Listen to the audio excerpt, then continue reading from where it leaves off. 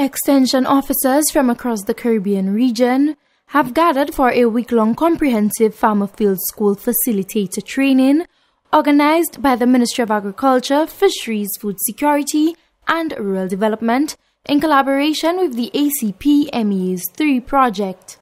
The training aims to enhance their facilitation skills and provide them with updated knowledge and tools for delivering effective farmer field school extension programs.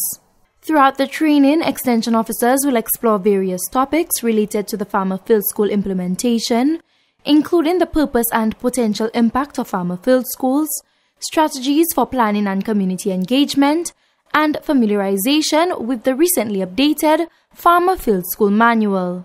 The objective, as stated by the ACPMEA's three regional project coordinator, Therese Yarde, is to enable extension officers to better engage with farmers share information, and provide guidance on the responsible use of pesticides.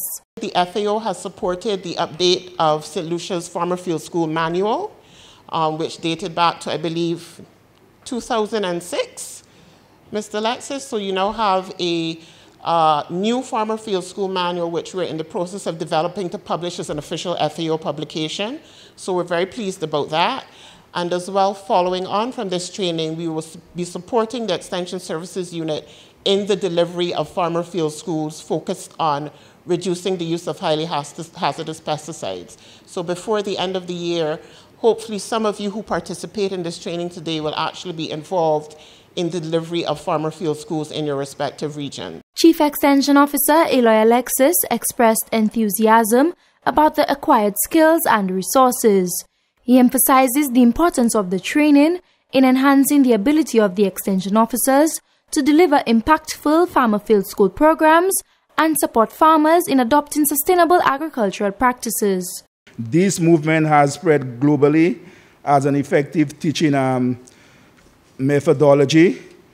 The concept embraces the um, preservation of agroecological system to guarantee sustainability of production as sectoral leaders, we must be um, equipped with the requisite knowledge which will help cushion the myriads of challenges faced by our farming sector, which has the potential to weaken our food security status, aggravate onsets of non-communicable diseases, and the destruction of the environment.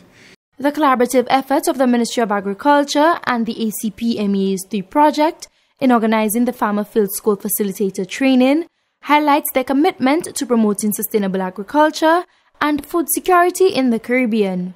With improved facilitation skills and the updated manual, extension officers will be equipped to lead farmer field schools, empower farmers, and contribute to the agricultural sector's development.